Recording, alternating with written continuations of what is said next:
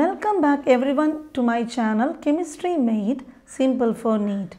I am Dr. Lekshmy Subramaniam with a PhD in chemistry. Today we are going to continue with surface chemistry unit 5 class 12. One important point for revision keys I have got to mention here is that keys are concepts curated in simplest forms and they are considered as high yield points which can help you in scoring well. Concepts are put down in simple language. Revisiting keys multiple times gives you a better idea of the concept and also improves your recollection capacity.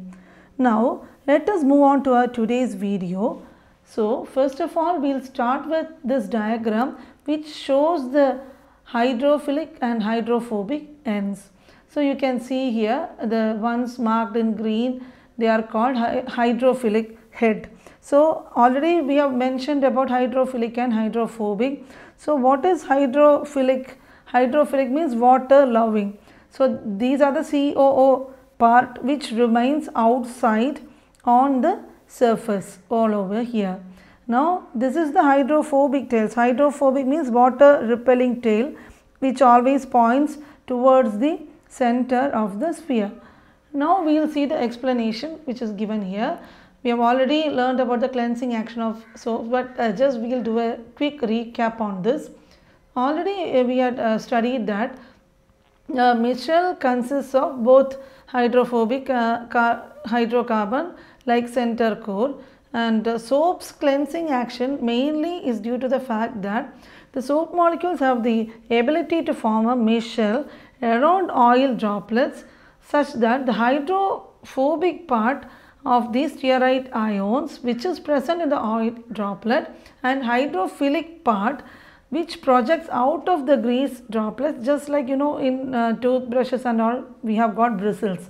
So, it is just like that and you always uh, you know that the polar groups which will interact with water and the oil droplets surrounded by the stearate ion what happens to them they are pulled into the water and they are totally removed from the dirty surface. So, soap plays an important role in emulsification and washing away of all these oils and fats. And at the same time the negatively charged sheath around the globules that is the one which stops them from coming together to form aggregates. So, I think you understood this concept that is the cleansing option, action of soaps clearly. Now, next is how do we prepare colloids. So, we have got different methods for preparing colloids. First of all, we will see the chemical methods. So, mostly the colloidal dispersion they are formed by chemical reaction. As a result, the formation of uh, molecules by double decomposition or oxidation, reduction or hydrolysis can take place. This molecule then aggregates and finally forms sols. So, you can see one equation given here which is FeCl3 plus 3H2O that is hydrolysis. They undergo hydrolysis and form FeOH thrice which is the sol over here and 3HCl. Now, there is this is another important method Bredig's arc method. You can see that is uh, shown in the diagram here. What is this process about?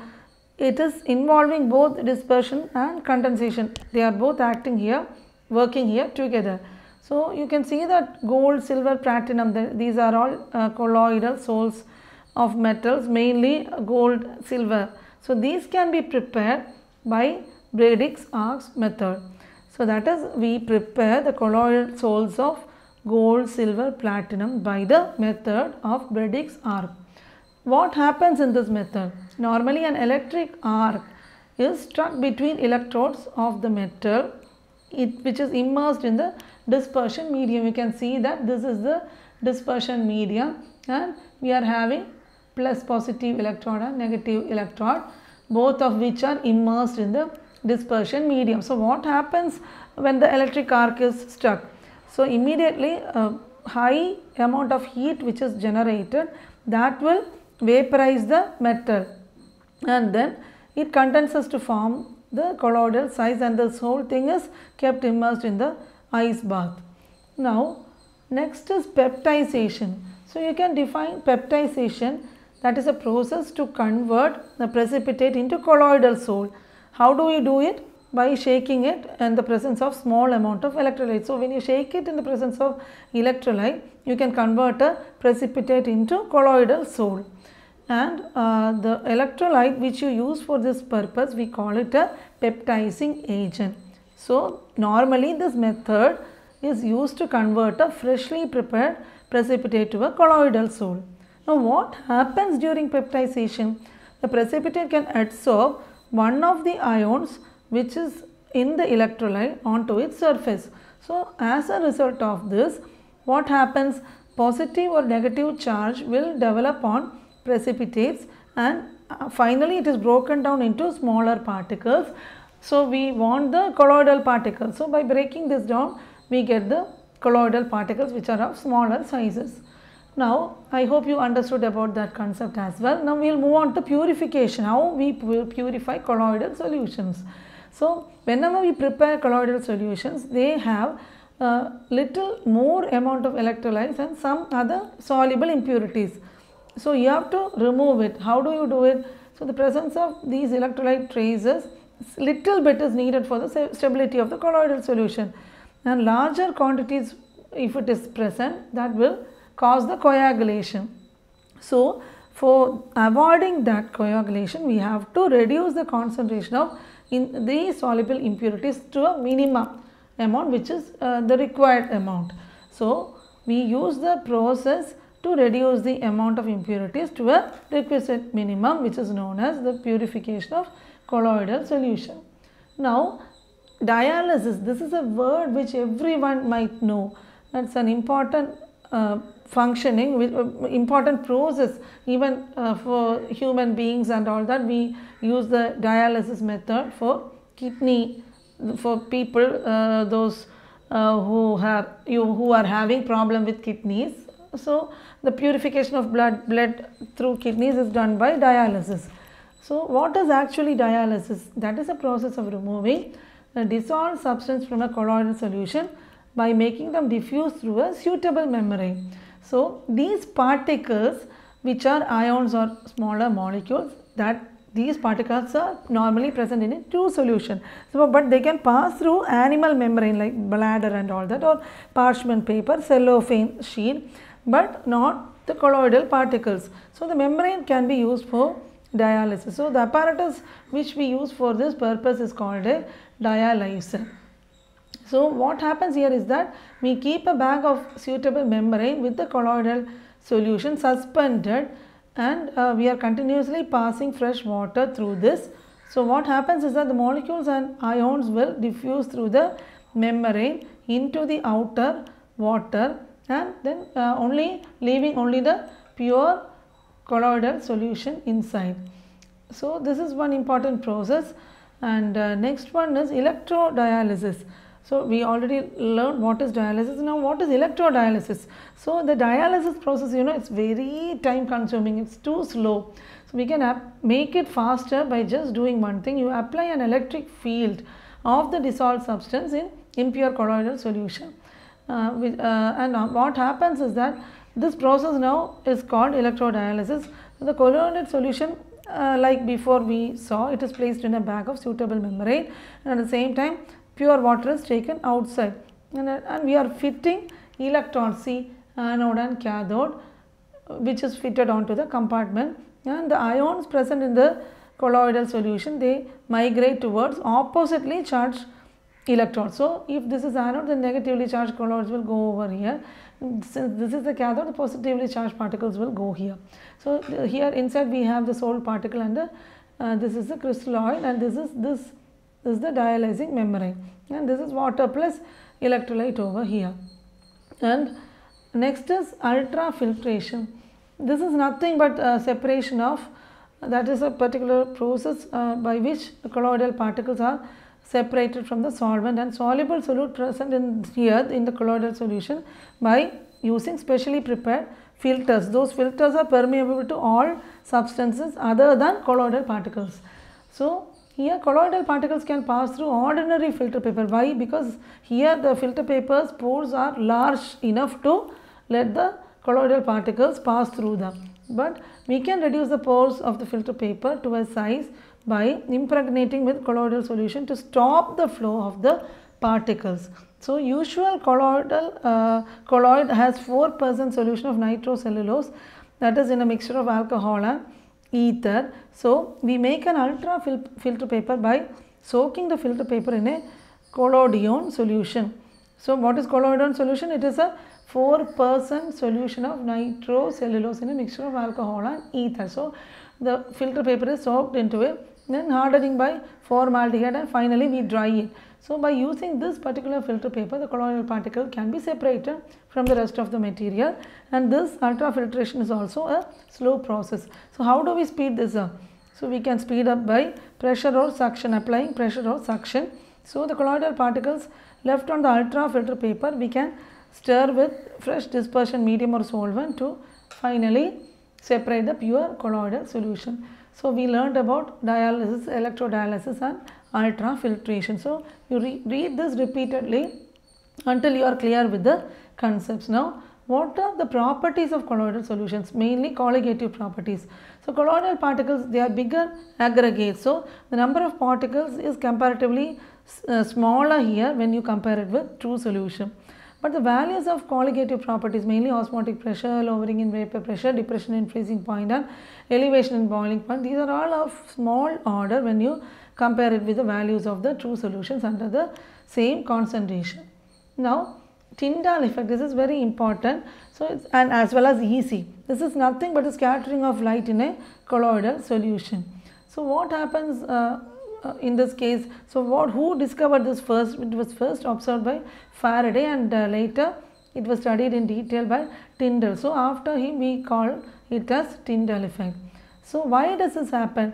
Because colloidal particles have a special property of scattering light in all directions in space. So, what happens is that because of the scattering of light, it illuminates the path of beam in the colloidal dispersion.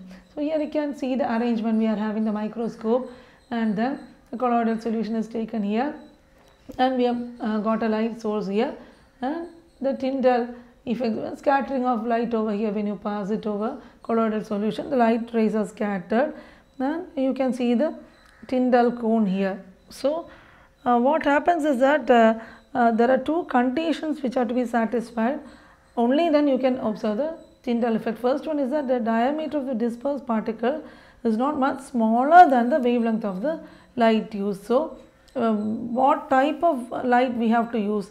So, in this case the diameter of the dispersed particles is not smaller than the wavelength of the light used. That is the first condition and second condition is that the refractive indices of dispersed phases and medium should greatly differ in magnitude. So, their magnitude differences should be large for Tyndall effect to take place. Now, the color of colloidal solution depends on wavelength of the scattered light by dispersed particles. So, wavelength of light depends on size and particles nature. Now, another important phenomena is Brownian movement.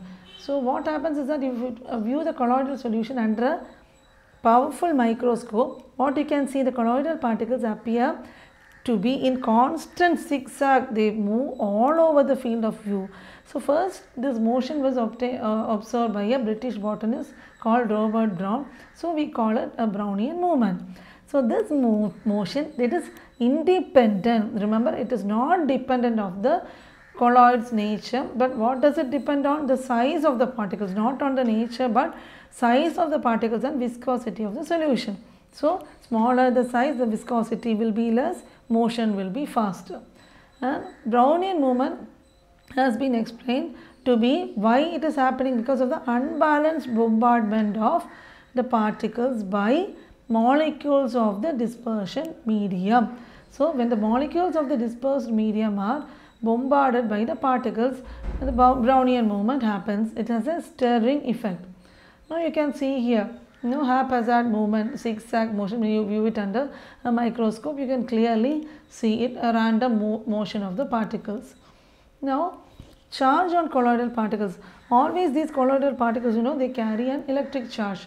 So, nature of this charge is same on all the particles in a given colloidal solution. So, it can be either positive or negative.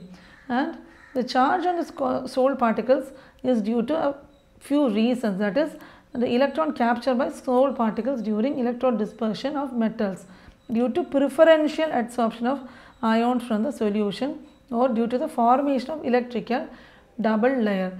So, the charge happens due to two factors. One is the formation of electrical double layer and second preferential adsorption of ions in the solution. Then the preferential adsorption we consider that as the most accepted reason. Why? Because you know the sol particles can acquire positive or negative charge by the preferential adsorption of positive or negative ions. So, two or more ions when they are present in the dispersion medium, what happens the preferential adsorption of the ion which is common to the colloidal particle is normally taking place. And now the two layers of opposite charges around the colloidal particles they combine that is known as Helmholtz electrical double layer. So, according to the modern views the first layer of ions will be firmly held and that first layer is called the, fixed layer because they are firmly held and second layer is mobile. So, we call it a diffuse layer and the separation of the charge uh, that is the main area or seat of potential. So, opposite signs uh, the charges of opposite signs on the fixed and diffuse parts of double layer causes a difference in potential between these layers. So, as a result of this potential difference between the fixed layer and the diffuse layer of opposite charges that is known as the electrokinetic potential or zeta potential. So, remember well what is meant by electrokinetic potential or zeta potential because of the separation of charges the opposite signs between the fixed and diffuse parts of the double layer as a result of it a potential is built up between the layers and this uh, difference in potential is known as electrokinetic potential or zeta potential.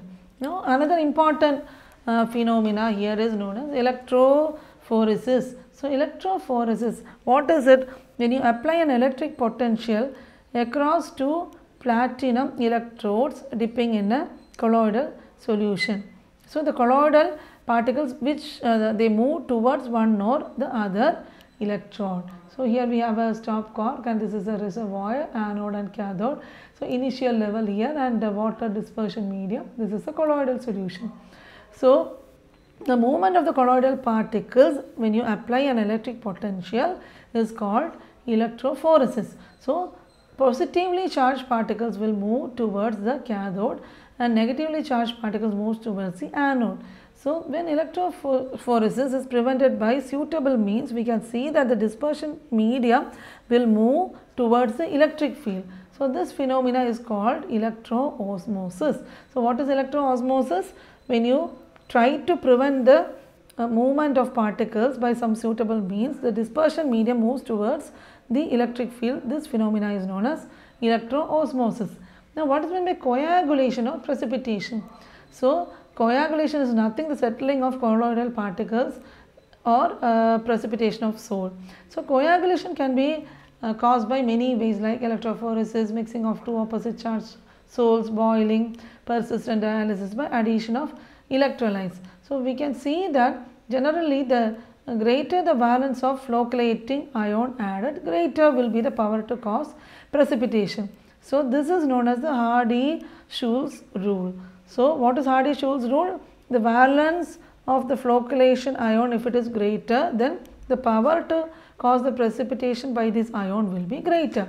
So, in coagulation of negative sol the flocculating power is of the order aluminium Al3 plus Ba barium 2 plus and sodium plus. Now, the coagulation of a positive sol the flocculating power is of the order Fe, you remember this order FeCN6 uh, 4 greater than PO4 3 minus SO4 2 minus Cl minus maybe this is uh, usually asked for the exam. So, you just keep this order in your mind and uh, the minimum concentration of an electrolyte always you have to remember you know you will get sums based on this part which I will upload it separately I will do these sums and show it to you so that you will find it easy. So, it has to be always in millimoles. If they give it in moles, you have to convert it into millimoles and by uh, millimoles per liter. Only then the precipitation will be caused and in 2 hours that is a, approximate time that is known as the coagulating value. The smaller the quantity needed, higher will be the coagulating power of ion.